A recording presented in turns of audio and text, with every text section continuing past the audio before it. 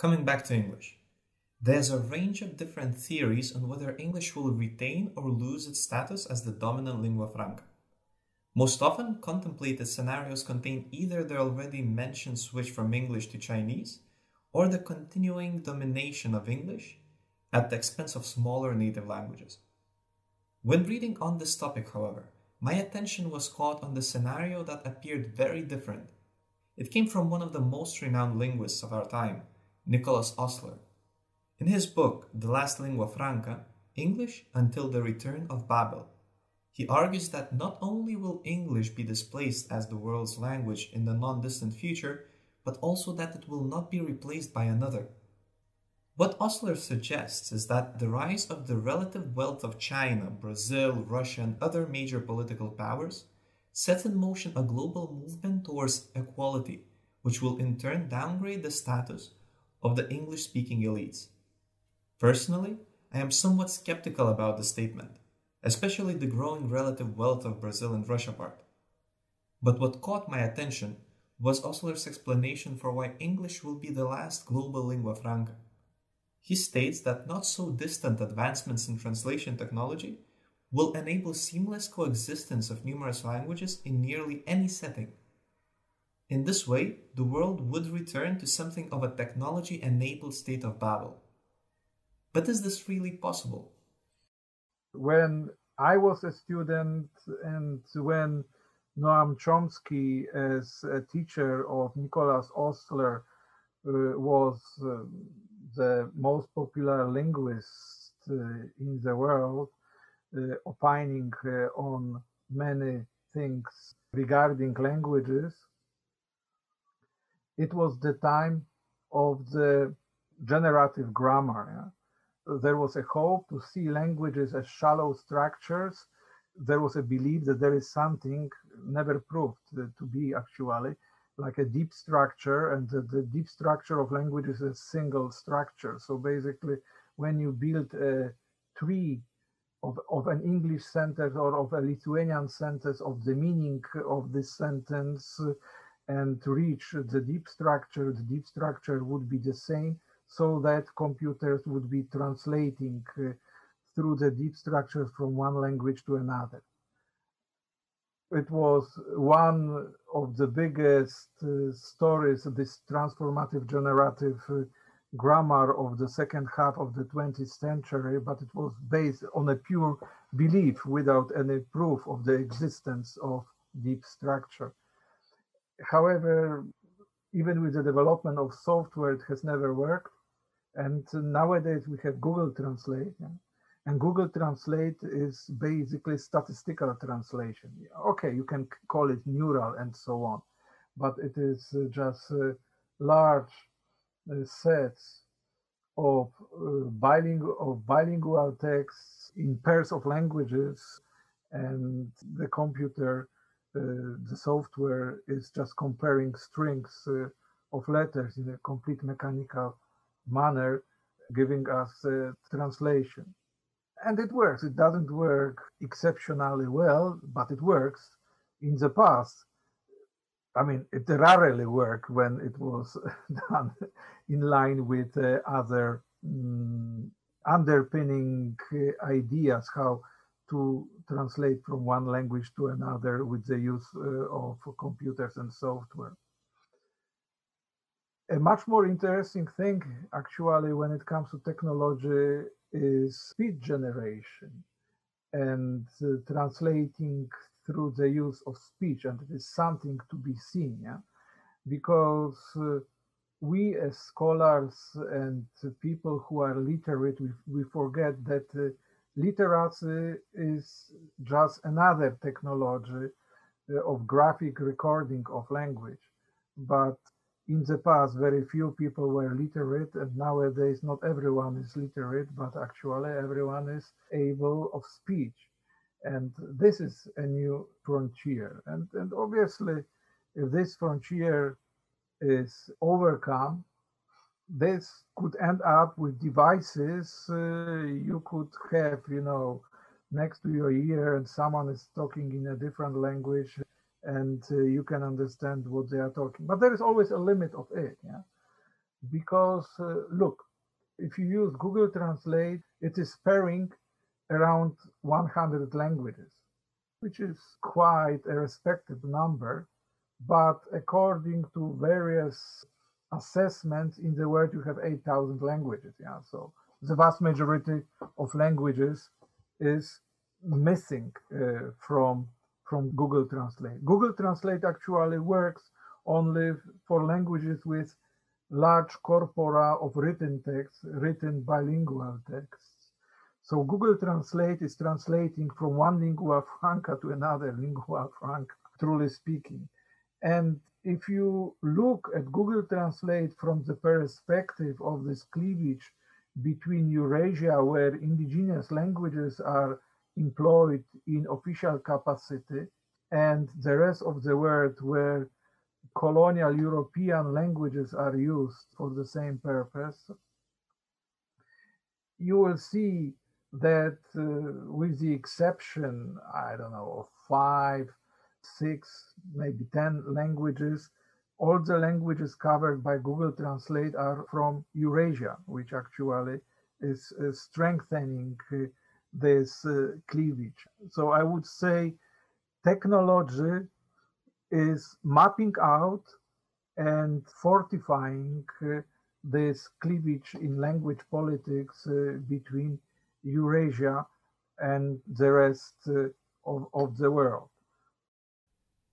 Okay, so just to recap what Tom is saying here, technology may work in favor of multilingualism, except it's the languages that are already prestigious enough that make it to this party.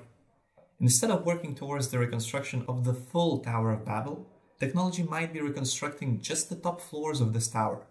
The VIP lodges with splendid views, while in fact doing little to nothing to strengthen the bottom floors. Technology as we use it nowadays is a reflection of economic and power relations as they are now. So when, uh, when solutions are developed like software for Google Translate, it draws at these power relations, provides solutions for people who live within this network of power relations, and by the same token reinforces these power relations. Let's put it like this. Many people speak Tatar, the language, the Tatar language, in Tatarstan, in Bashkiria, and other places across the Russian Federation and some post-Soviet countries. I mean, it is around 10 million people, yeah? So it, it is uh, quite a few. When it comes to book production, it is like 40 books produced in the Russian uh, Federation per annum, yeah? When you have a look at Lithuania, there are some like two two and a half, three million speaking the Lithuanian language. Yeah? And there are like several thousand book titles published these days.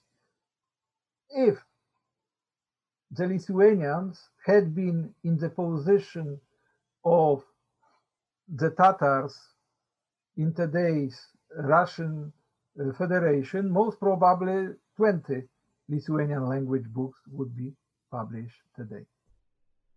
This means that Tatar, although being a significantly larger language by the number of speakers, simply does not generate the corpus of written material large enough to allow for algorithms to provide us with translations of high quality. As a result, the quality of Tatar translations will likely come out worse than the ones for even significantly smaller languages in terms of the number of speakers, for example, Lithuanian. And here we bump into language politics again. The only reason for why Lithuanian is supported relatively well by modern translation engines, even though so few actually speak it, to a large extent comes down to the fact that it is the official state language mandated by legislation and quite literally written into the law. There are a lot of materials in Lithuanian which are paired with other languages of the European Union. Yeah? Because Lithuania joined the European Union in 2004, and the European Union has language politics of translating uh, all the documentation into all the official languages of the member states, uh, the languages which the member states want to use. Yeah? Because, for instance, Ireland didn't want to use uh, its own Irish language until 2008. So there are such interesting stories. And Luxembourg is not using its uh, national language of Luxembourgish to this day for this purpose. Yeah?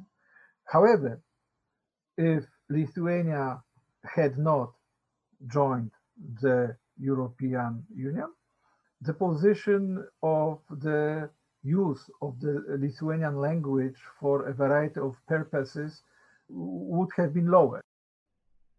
Now, just for the record, Tatar is supported on Google Translate. Google algorithms are now capable of translating between a language pair it has not trained on. Imagine the model was trained on translating between Russian and Tatar, as well as between Bulgarian and Russian. Even if it was not trained to translate between Bulgarian and Tatar specifically, AI is capable of doing it, and this is not achieved by simply translating through Russian. Scientists think that these neural networks, which, by the way, are extremely difficult to interpret, are now capable of basic level of semantic interpretation. This means that these AI translators are beginning to translate by meaning, something that many argument machines would never be able to do.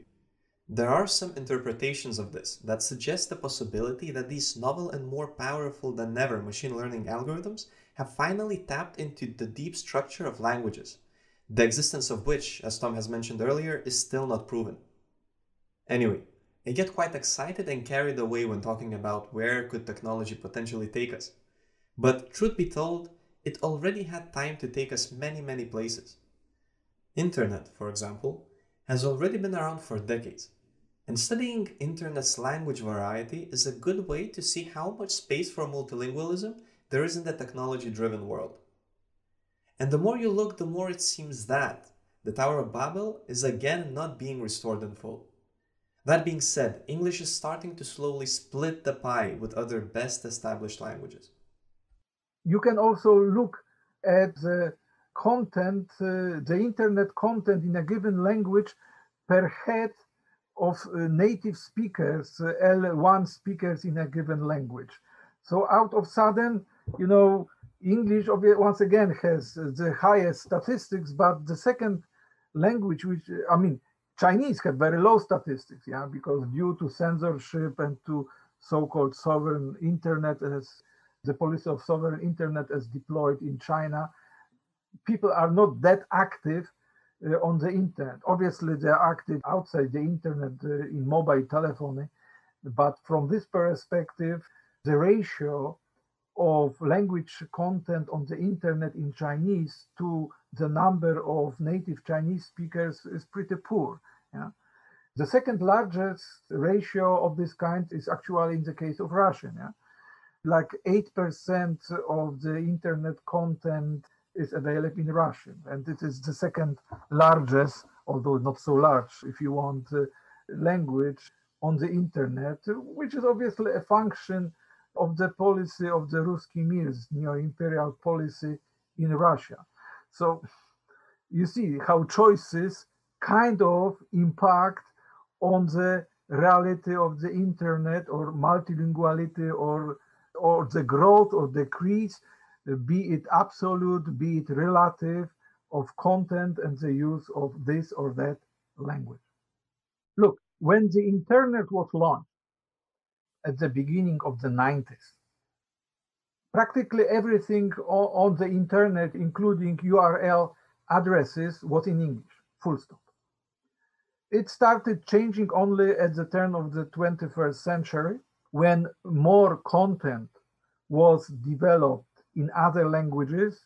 And there was this kind of uh, symbolic change, like five years ago or 10 years ago, I don't remember exactly, when it became possible to use different scripts than the Latin script strongly connected to English for URL addresses, you know, like Arabic script, Chinese script, Cyrillic, you name it.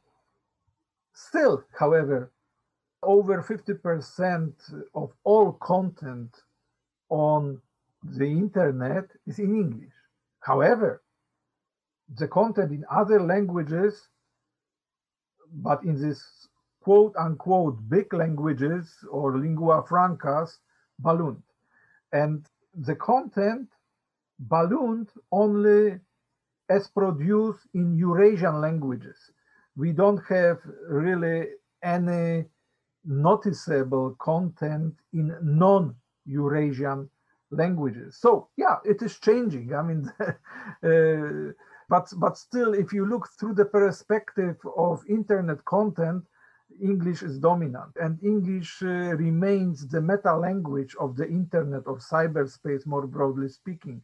You can do the same looking uh, at the statistics uh, of uh, the 300 Wikipedias in different languages. Yeah, the biggest Wikipedia is in English with the largest number of articles, with the largest number of words in these articles.